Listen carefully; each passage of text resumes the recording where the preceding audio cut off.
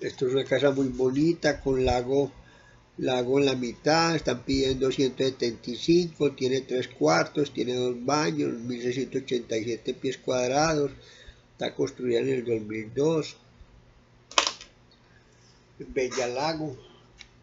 Llámenos para servirle, para ayudarle, para la casa de sus sueños, la casa de su familia.